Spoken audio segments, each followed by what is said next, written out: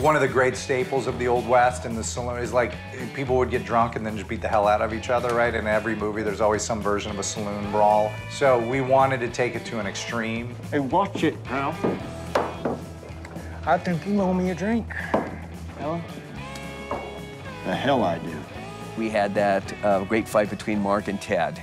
And Scott Rogers was a stunt coordinator that we worked with on that. Rolling. And we had Scott come back with us because, you know, one of the things we wanted to do in this movie is at the center of it, there's this bar fight written. And we wanted to have this kind of classic Western bar fight, but add a little of Seth's own spice to it.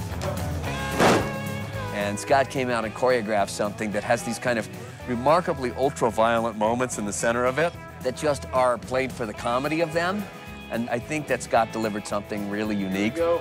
Ready, and three, two, one, go. Seth wanted this quintessential, typical, standard saloon. You know, there's every Western has a saloon fight. We started out with, okay, we're gonna have 12 stuntmen in here doing a fight. And then as you start putting 12 people in there, realizing it's not nearly enough.